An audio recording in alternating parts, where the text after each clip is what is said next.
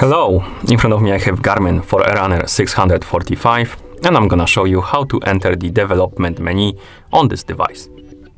First, we need to open the menu. To do it, press and hold the up button. After the menu opens, use the down button to scroll down, select the settings option and press the start button to enter.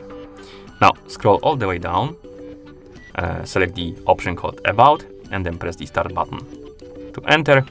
And here we need to start pressing the light button and we need to press it, I believe, 10 times to enter the development menu. And here we have it.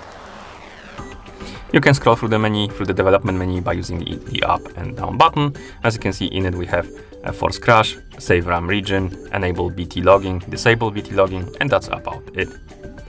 And if you want to exit the menu, press the back button, like this. Okay, and that's how you enter the development menu on this device. Thank you for watching. If you found this video helpful, please consider subscribing to our channel and leaving a like on the video.